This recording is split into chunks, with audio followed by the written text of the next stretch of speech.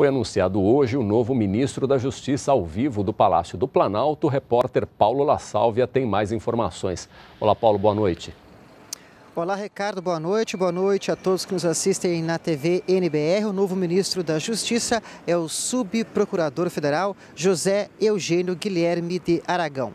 Ele é formado em Direito pela Universidade de Brasília, tem mestrado no exterior em Direitos Humanos e está realizando doutorado em Direito Internacional Público. Como entrou para o Ministério Público Brasileiro em 1987, antes da Constituição de 88, não precisa se submeter a regra constitucional que proíbe que membros do Ministério Público tenham outras ocupações além do magistério.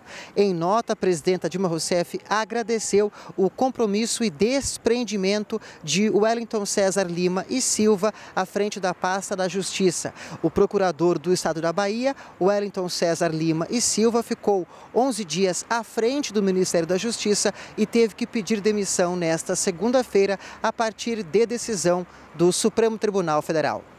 Voltamos com você no estúdio, Ricardo. Obrigado, Paulo. Boa noite para você.